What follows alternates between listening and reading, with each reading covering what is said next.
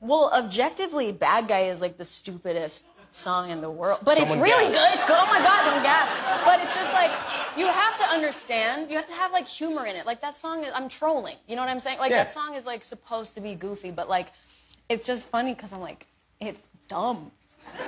It's literally like, duh. Like what?